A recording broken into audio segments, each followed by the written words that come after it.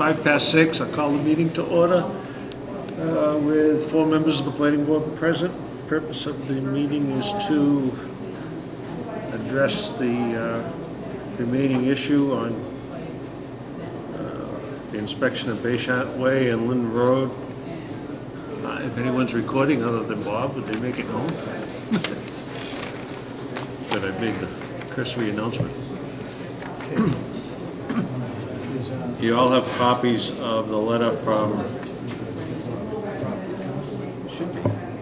Charles Rowley regarding his final inspection. They were there today. Yeah. Yes.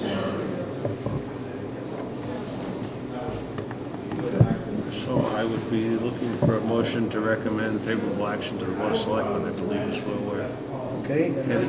I would make a motion of favorable action uh, to the selectmen for the acceptance of Bayshant Way and Lynn Road. Uh, due to the completion of the inspections of Mr. Howell and Mr. Bernard. Second.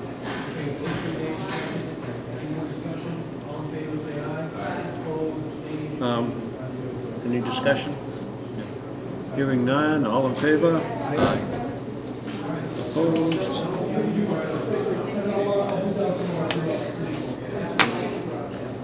You also, for your information, you have the letter from Attorney Cirque regarding the uh, extension of time for the public hearing for the Bay Pointe Country Club plan. Okay. And my other question was on the other public hearing that was held. I watched it on TV, it was a little hard to hear, but you guys recommend, that was unanimous recommendation for that mobile home. Oh, for, for, Initiative. to, yeah, to accept. Yes.